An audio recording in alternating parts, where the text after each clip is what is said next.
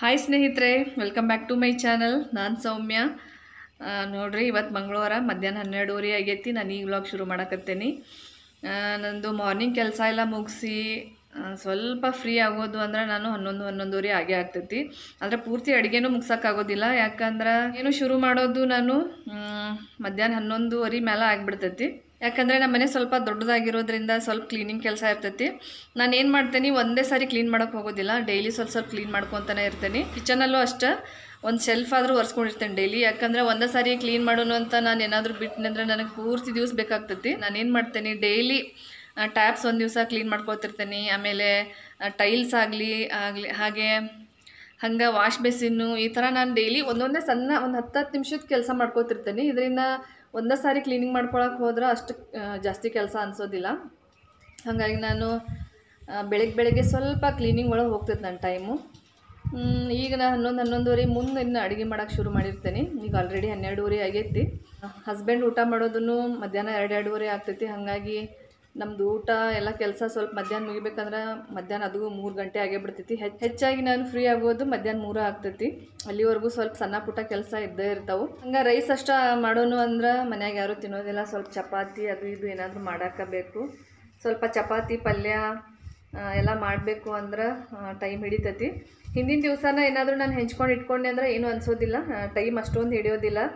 ಅಡುಗೆ ಟೈಮ್ನಾಗನ ಎಲ್ಲ ಹೆಂಚ್ಕೊಳ್ಳೋನು ಎಲ್ಲ ಒಂದೇ ಸರಿ ಅಂದರೆ ಸ್ವಲ್ಪ ಟೈಮ್ ಹಿಡಿಯೋದು ಅದು. ಹೆಚ್ಚಾಗಿ ನಾನು ಹಿಂದಿನ ದಿವಸನ ಎಲ್ಲ ಹೆಂಚಿಟ್ಕೊಂಡಿರ್ತೇನೆ ನೈಟು ನಾಳೆಗೆ ಏನು ಮಾಡ್ಬೇಕಂತೇಳಿ. ಎಲ್ಲರೂ ಕೇಳಾಕತ್ತಿದ್ರಿ ನಿಮ್ಮ ಹಸ್ಬೆಂಡ್ ತೋರಿಸಿ ಹಸ್ಬೆಂಡ್ ತೋರಿಸಿ ಅಂತ. ಅವ್ರು ಸ್ವಲ್ಪ ಬ್ಯುಸಿನೇ ಇರ್ತಾರೆ ಯಾವಾಗಲೂ. ನಾನು ವ್ಲಾಗ್ ಮಾಡೋ ಟೈಮಲ್ಲಿ ಅವರು ಏನಾದರೂ ಕೆಲಸ ಇರುತ್ತೆ ಅಂತ ಹೊರ- ಹೊರಗಡೆ ಹೋಗಿರ್ತಾರೆ. ಇಲ್ಲ ಅಂದರೆ ಆಫೀಸ್ ಹೋಗಿರ್ತಾರೆ, ಹಾಗಾಗಿ ಅವ್ರನ್ನ ತೋರ್ಸೋಕ್ಕಾಗ್ತಾ ಇಲ್ಲ. ನೋಡೋಣ, ಯಾವಾಗಲಾದರೂ ಫ್ರೀ ಇದ್ದಾಗ ಅವರನ್ನು ತೋರಿಸ್ತೀನಿ. ಇಂಟ್ರೊಡ್ಯೂಸ್ ಮಾಡಿಕೊಡ್ತೀನಿ ನಾನು ನಿಮಗೆ. ಹಾಗೆ ತುಂಬ ಜನ ಕೇಳ್ತಾ ಇದ್ದೀರಾ ಡೈಲಿ ವ್ಲಾಗ್ಸ್ ಮಾಡಿ ಮಾಡಿ ಅಂತ. ಖಂಡಿತ ಮಾಡ್ತೀನಿ. ಆದಷ್ಟು ಟ್ರೈ ಮಾಡ್ತೀನಿ ನಾನು ಡೈಲಿ ವ್ಲಾಗ್ಸ್ ಮಾಡೋಕ್ಕೆ. ಸೊ ಫ್ರೆಂಡ್ಸ್ ಈಗ ಲಂಚಿಗೆ ನಾನು ಪ್ರಿಪೇರ್ ಮಾಡ್ತಾ ಇದ್ದೀನಿ. ಬನ್ನಿ ನಿಮ್ಮ ಜೊತೆ ಮಾತಾಡ್ತಾ ನಾನು. ಮಧ್ಯಾಹ್ನದ ಲಂಚ್ ಪ್ರಿಪೇರ್ ಮಾಡಬೇಕು ಅಂತ ಅಂದ್ಕೊಂಡಿದ್ದೀನಿ ನಾನೀಗ ಚಪಾತಿ ಹಿಟ್ಟು ಕಲಸಿಡ್ತಾ ಇದ್ದೀನಿ. ಹೆಚ್ಚಾಗಿ ನಾನು ಒಂದೇ ಟೈಮ್ ಕಲಸಿಟ್ಬಿಡ್ತೀನಿ, ಮಧ್ಯಾಹ್ನ ಮತ್ತು ರಾತ್ರಿ ಆಗುವಷ್ಟು.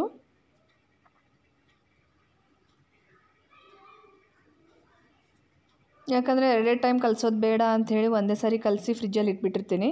ನೋಡಿ ಚಪಾತಿ ಇಟ್ಟು ಕಲಸಿ ಇಟ್ಟಾಯಿತು. ಈಗ ನಾನು ಒಂದು ಪ್ಲೇಟ್ ಮುಚ್ಚಿಟ್ಬಿಡ್ತಾ ಇದ್ದೀನಿ.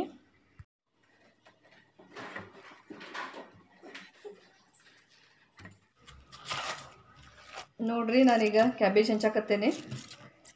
ಪೂರ್ತಿ ಪೂರ್ತಿ ಸಣ್ಣಗೇನು ಹಂಚಂಗಿಲ್ಲ. ಮೀಡಿಯಮ್ಮಾಗಿ ಹೆಂಚಿರ್ತೇನೆ ನಾನು. ಕೆಲವೊಮ್ಮೆ ಹುರಿದು ಮಾಡ್ತೇನೆ, ಕೆಲವೊಮ್ಮೆ ಹುರಿದೇನು ಮಾಡ್ತೇನೆ. ಎರಡು ಚಲೋ ಟೇಸ್ಟ್ ಅಕ್ಕವು.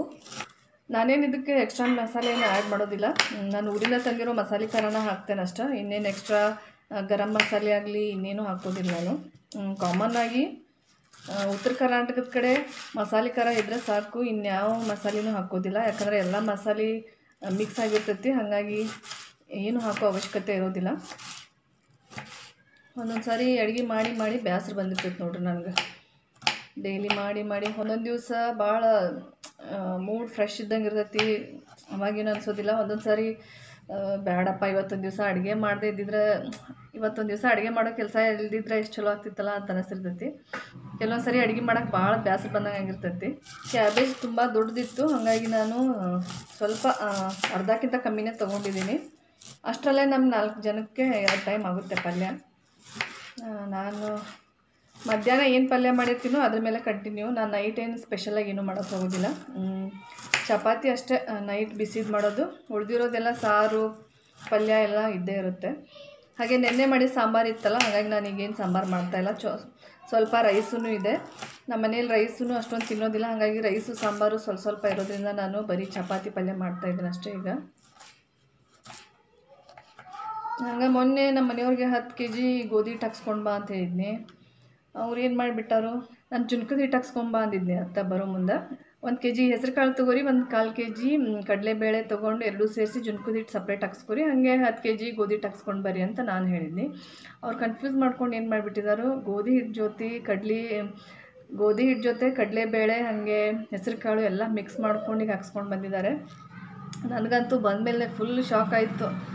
ಅಯ್ಯೋ ಇನ್ನು ನಾನು ಅದು ಖಾಲಿ ಆಗೋವರೆಗೂ ಅದು ಹೆಂಗಪ್ಪ? ಇದನ್ನು ನಾನು ಚಪಾತಿ ಮಾಡಲಿ ಅಂಥೇಳಿ ನಿಜವಾಗ್ಲೂ ಈಗ ಅದು ಮುಗಿಯೋವರೆಗೂ ನಂಗೆ ಚಪಾತಿ ಮಾಡೋದಂದ್ರೆ ತಲೆನೋವು ಬಂದಿದೆ. ಯಾಕಂದರೆ ಅಷ್ಟೊಂದು ಚೆನ್ನಾಗಿ ಆಗ್ತಾಯಿಲ್ಲ ಸ್ವಲ್ಪ ಹೊತ್ತಂಗೆ ಆಗ್ತಾಯಿದೆ ಕಲಸಿ ಒಂದು ಅರ್ಧ ಗಂಟೆ ಬಿಡುವಷ್ಟೊತ್ತಿಗೆ ಅಂದರೆ ಹಿಟ್ಟೆಲ್ಲ ಫುಲ್ ಮೆತ್ತಗಾಗ್ತಾ ಇದೆ. ಅದು ಮುಗಿಯೋವರೆಗೂ ತಲೆನೋವು. ಆಮೇಲೆ ಅದನ್ನು ಹಾಕ್ಸ್ಕೊಂಡು ಬಂದಮೇಲಂತೂ ನನಗೆ ಒಂಥರ ಸಿಟ್ಟು ಬರ್ತಾಯಿತ್ತು ಒಂಥರ ನಗುನು ಬರ್ತಾಯಿತ್ತು ಯಾಕಂದರೆ ಇವ್ರು ಯಾವತ್ತಾದರೂ ಕೇಳಿದಾರ ಗೋಧಿ ಹಿಟ್ಟು ಜೊತೆ ಕಡಲೆಬೇಳೆ ಮಿಕ್ಸ್ ಮಾಡ್ಕೊಂಡು ಬಂದಿರೋದು ಅಂತ ಆ ಥರ ನಗು ಬರ್ತಾಯಿತ್ತು ನನಗೆ. ಇನ್ನು ಮುಗಿಯೋವರೆಗೂ ನಾನು ಅದನ್ನು ಅಡ್ಜಸ್ಟ್ ಮಾಡಿ ಹೆಂಗಾದರೂ ಚಪಾತಿ ಮಾಡಲೇಬೇಕು. ಇಷ್ಟು ಕ್ಯಾಬೇಜ್ ಹಂಚಿದ್ದೀನಿ. ಸಾಕು ಇಷ್ಟು ಪಲ್ಯಕ್ಕೆ. ಎರಡು ಟೈಮ್ ಆಗುತ್ತೆ. ಬರ್ರಿ, ಈಗ ನಿಮ್ಮ ಜೊತೆ ಮಾತಾಡ್ಕೊತ ನಾನೀಗ ಅಡುಗೆ ಕೆಲಸ ಮಾಡ್ತೀನಿ. ಕ್ಯಾಬೇಜನ್ನು ನಾನು ಅರಿಶಿನ ಮತ್ತು ಉಪ್ಪು ಹಾಕಿ ಚೆನ್ನಾಗಿ ತೊಳೆದು ಈಗ ಬರೀ ಆಯಿಲ್ ಹಾಕಿ ನಾನು ಹುರ್ಕೊಳ್ತಾ ಇದ್ದೀನಿ. ಸ್ವಲ್ಪ ಕಲರ್ ಚೇಂಜ್ ಆಗುವವರೆಗೂ ಹುರ್ಕೋಬೇಕು.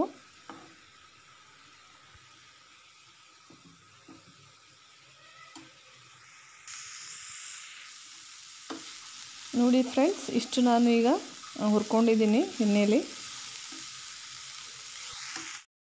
ನಾನೀಗ ಕ್ಯಾಬೇಜನ್ನೆಲ್ಲ ಒಂದು ಪ್ಲೇಟಿಗೆ ತಗೊಳ್ತಾ ಇದ್ದೀನಿ.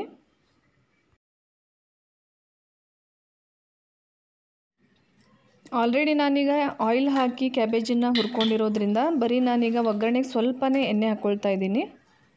ಎಣ್ಣೆ ಕಾದ ಮೇಲೆ ಸ್ವಲ್ಪ ಸಾಸಿವೆ ಹಾಗೆ ಸ್ವಲ್ಪ ಜೀರಿಗೆ. ಹಾಗೆ ನಾನು ಒಂದು ಈರುಳ್ಳಿನ ಕಟ್ ಮಾಡಿ ಇಟ್ಕೊಂಡಿದ್ದೆ. ಜೊತೆಗೆ ಕರಿಬೇವು ಸೊಪ್ಪು ಹಾಕಿ ಚೆನ್ನಾಗಿ ಫ್ರೈ ಮಾಡ್ಕೋಬೇಕು ಎಣ್ಣೆಯಲ್ಲಿ ಈಗ ನಾನು ನೆಕ್ಸ್ಟ್ ಒಂದು ಅರ್ಧ ಚಮಚದಷ್ಟು ಅರಿಶಿನದ ಪುಡಿ ಹಾಕ್ಕೊಳ್ತಾ ಇದ್ದೀನಿ.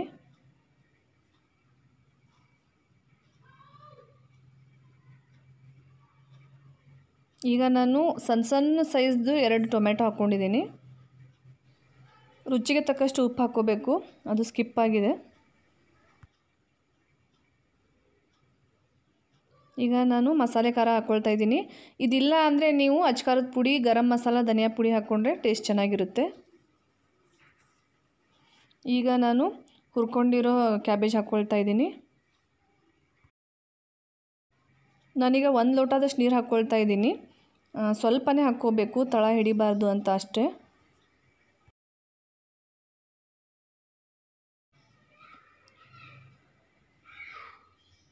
ಈಗ ನಾನು ಒಂದು ಪ್ಲೇಟ್ ಮುಚ್ಚಿ ಫೈ ಟು ಏಯ್ಟ್ ಮಿನಿಟ್ಸ್ ಸಿಮ್ಮಲ್ಲಿ ಇಟ್ಟಿದ್ದೀನಿ. ಹಾಗೆ ನಾನು ಅಡುಗೆ ಮಾಡಬೇಕಾದ್ರೆ ಅಲ್ಲಿ ಇಲ್ಲಿ ಇಟ್ಟಿದ್ದೆ ಎಲ್ಲ ಪಾತ್ರೆನೂ ಈಗ ಜೋಡಿಸಿಡ್ತಾ ಇದ್ದೀನಿ.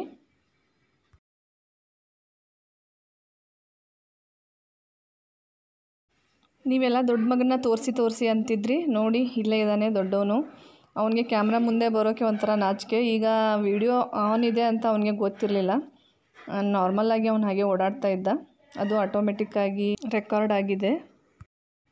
ಇವನು ಎಂಟನೇ ಕ್ಲಾಸ್ ಓದ್ತಾ ಇದ್ದಾನೆ, ಹಾಗೆ ಚಿಕ್ಕವನು ಎಲ್ ಕೆ ಜಿ ಓದ್ತಾ ಇದ್ದಾನೆ. ನಾನೀಗ ಚಪಾತಿ ಮಾಡ್ತಾ ಇದ್ದೀನಿ ಫ್ರೆಂಡ್ಸ್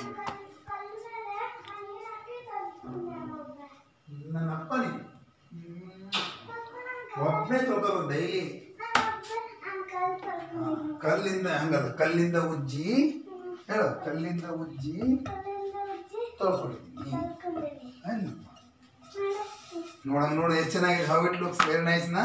ಚಿಕ್ಕವನು ಅವ್ರ ಅಪ್ಪನ ಜೊತೆ ಏನೇನೋ ಮಾತಾಡ್ತಾ ಇದ್ದ ಅದು ಕ್ಯಾಮ್ರಾದಲ್ಲಿ ಆಡಿಯೋ ರೆಕಾರ್ಡ್ ಆಗಿದೆ. ಸೊ ಫ್ರೆಂಡ್ಸ್ ಈಗ ನಾನು ಚಪಾತಿ ಮಾಡ್ತಾ ಇದ್ದೀನಿ ಎಣ್ಣೆ ಹಚ್ಚದೆ ಮಾಡ್ತಾ ಇದ್ದೀನಿ ಒಂಥರ ಫುಲ್ಕಾ ಥರ. ಅದ್ರ ಜೊತೆ ತುಪ್ಪ ಹಚ್ಕೊಂಡು ತಿಂದರೆ ಸೂಪರಾಗಿರುತ್ತೆ ಹಾಗಾಗಿ ನಾನು ಆಯಿಲ್ ಇಲ್ಲದೇ ಹಾಗೆ ಚಪಾತಿ ಮಾಡ್ತಾ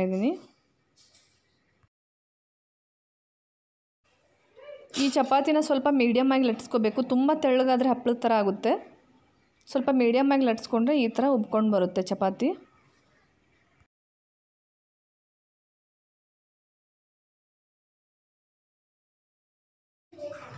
ಸೊ ಫ್ರೆಂಡ್ಸ್ ನಾನೀಗ ಕೊತ್ತಂಬರಿ ಸೊಪ್ಪನ್ನ ಆ್ಯಡ್ ಮಾಡ್ತಾ ಇದ್ದೀನಿ ಲಾಸ್ಟಲ್ಲಿ ಈಗ ಲಂಚ್ ಟೈಮು ಎಲ್ರಿಗೂ ಊಟ ಕೊಡ್ತಾ ಇದ್ದೀನಿ. ನಿಮಗೆ ಆಮೇಲೆ ಸಿಗ್ತೀನಿ ನಾನು. ಹಾಯ್ ಸ್ನೇಹಿತರೆ, ಮಧ್ಯಾಹ್ನ ಊಟ ಎಲ್ಲ ಆದಮೇಲೆ ನನಗೆ ವ್ಲಾಗ್ನ ಕಂಟಿನ್ಯೂ ಮಾಡೋಕ್ಕಾಗಿರಲಿಲ್ಲ. ಈಗ ಸಂಜೆ ಏಳು ಗಂಟೆ ಆಗಿದೆ, ನಾನೀಗ ವ್ಲಾಗ್ನ ಕಂಟಿನ್ಯೂ ಮಾಡ್ತಾ ಇದ್ದೀನಿ. ಹಾಗೆ ಎರಡು ದಿವಸದಿಂದ ನಾನು ಯಾರಿಗೂ ಹಾಯ್ ಹೇಳೋಕ್ಕಾಗಿರಲಿಲ್ಲ. ಬನ್ನಿ, ಈಗ ಯಾರ್ಯಾರು ಹಾಯ್ ಹೇಳಿದ್ದಾರೆ ಅಂತ ನೋಡೋಣ. ಮೊದಲನೇದಾಗಿ ರಾಧಾ ಎಂ ಟಿ ಅವರು ಹಾಯ್ ಹೇಳ್ತಾ ಇದ್ದಾರೆ. ಹಾಯ್ ರಾಧಾ ಅವರೇ, ಹೇಗಿದ್ದೀರಾ? ಹಾಗೆ ಮಿಲನ ಎಂ ಅವರು ಹಾಯ್ ಹೇಳ್ತಾ ಇದ್ದಾರೆ. ಹಾಯ್ ಮಿಲನ, ಹೇಗಿದ್ದೀರಾ? ಹಾಗೆ ಶ್ರುತಿ ಎ ಎಂ ಅವರು ಹಾಯ್ ಹೇಳ್ತಾ ಇದ್ದಾರೆ. ಹಾಯ್ ಶ್ರುತಿ, ಹೇಗಿದ್ದೀರಾ? ಪೂಜಾ ಅವರು ಬೀದರಿಂದ ಹಾಯ್ ಹೇಳ್ತಾ ಇದ್ದಾರೆ. ಹಾಯ್ ಪೂಜಾ, ಹೇಗಿದ್ದೀರಾ? Anjali A M. ಹಾಯ್ ಹೇಳ್ತಾ ಇದ್ದಾರೆ ಹಾಯ್ ಅಂಜಲಿ, ಹೇಗಿದ್ದೀರಾ? ಗಿರಿಜಾ ಹತ್ತಿಕಾಳ್ ಅವರು ಧಾರವಾಡದಿಂದ ಹಾಯ್ ಹೇಳ್ತಾ ಇದ್ದಾರೆ ಹಾಯ್ ಗಿರಿಜಾ, ಹೆಂಗದಿರಿ? ಅಶ್ವಿನಿ ಅಶ್ವಿನಿ ಅವರು ಹಾಯ್ ಹೇಳ್ತಾ ಇದ್ದಾರೆ ಹಾಯ್ ಅಶ್ವಿನಿ, ಹೇಗಿದ್ದೀರಾ? ಹಾಗೆ ಸುನೀತಾ ಅವರು ಕೂಡ ಹಾಯ್ ಹೇಳ್ತಾ ಇದ್ದಾರೆ ಹಾಯ್ ಸುನೀತಾ, ಹೇಗಿದ್ದೀರಾ? ಲಕ್ಷ್ಮಿ ಎ ಆರ್ ಅವರು ಕೂಡ ಹಾಯ್ ಹೇಳ್ತಾ ಇದ್ದಾರೆ ಹಾಯ್ ಲಕ್ಷ್ಮಿ, ಹೇಗಿದ್ದೀರಾ? ಕವಿತಾ ಕವಿತಾ ಅವರು ಕೂಡ ಹಾಯ್ ಹೇಳ್ತಾ ಇದ್ದಾರೆ ಹಾಯ್ ಕವಿತಾ, ಹೇಗಿದ್ದೀರಾ? ಸೌಭಾಗ್ಯ, ಸೌನಮ್ ಅವರು ಹಾಯ್ ಹೇಳ್ತಾ ಇದ್ದಾರೆ. ಹಾಯ್ ಸೌಭಾಗ್ಯ, ಹೇಗಿದ್ದೀರಾ? ಅನ್ನಪೂರ್ಣ ಕಲ್ಮಠ್ ಅವರು ಹಾಯ್ ಹೇಳ್ತಾ ಇದ್ದಾರೆ. ಅನ್ನಪೂರ್ಣ ಅವರೇ, ಹೆಂಗದ್ದೀರಿ? ಅಪೇಕ್ಷಾ, ಅನುಷಾ, ಪ್ರಾಚಿ ಅವರು ಹಾಯ್ ಹೇಳಿ ಅಂತ ಹೇಳಿದ್ದಾರೆ. ಹಾಯ್ ಅಪೇಕ್ಷಾ, ಅನುಷಾ, ಪ್ರಾಚಿ, ಹೇಗಿದ್ದೀರಾ? ಅಂಜಲಿ ಅವರು ಹುಟ್ಟುಹಬ್ಬ ಇದೆ ಅಂತ ಹೇಳಿದ್ದಾರೆ. ಹಾಯ್ ಅಂಜಲಿ, ಹುಟ್ಟುಹಬ್ಬದ ಹಾರ್ದಿಕ ಶುಭಾಶಯಗಳು. ಯಾವಾಗಲೂ ಖುಷಿ ಖುಷಿಯಾಗಿರಿ. ಸೊ ಫ್ರೆಂಡ್ಸ್ ಇವತ್ತಿನ ವ್ಲಾಗ್ನ ನಾನು ಇಲ್ಲಿಗೆ ಎಂಡ್ ಮಾಡ್ತಾ ಇದ್ದೀನಿ. ಇವತ್ತಿನ ವ್ಲಾಗ್ ನಿಮಗೆಲ್ಲ ಇಷ್ಟ ಆಗಿದೆ ಅಂತ ಅಂದ್ಕೊಳ್ತೀನಿ ಇಷ್ಟ ಆಗಿದ್ರೆ ಲೈಕ್ ಮಾಡಿ, ಹಾಗೆ ಹೊಸಬ್ರಾಗಿದ್ದರೆ ಸಬ್ಸ್ಕ್ರೈಬ್ ಮಾಡ್ಕೊಳ್ಳಿ. ಆಲ್ರೆಡಿ ಯಾರ್ಯಾರು ಸಬ್ಸ್ಕ್ರೈಬ್ ಮಾಡ್ಕೊಂಡು ನೋಡ್ತಾ ಇದ್ದೀರಾ ಅವರೆಲ್ಲರಿಗೂ ತುಂಬ ಥ್ಯಾಂಕ್ಸ್ ಅಂತ ಹೇಳ್ತಾ ಇವತ್ತಿನ ವ್ಲಾಗ್ನ ನಾನು ಇಲ್ಲಿಗೆ ಎಂಡ್ ಮಾಡ್ತಾ ಇದ್ದೀನಿ.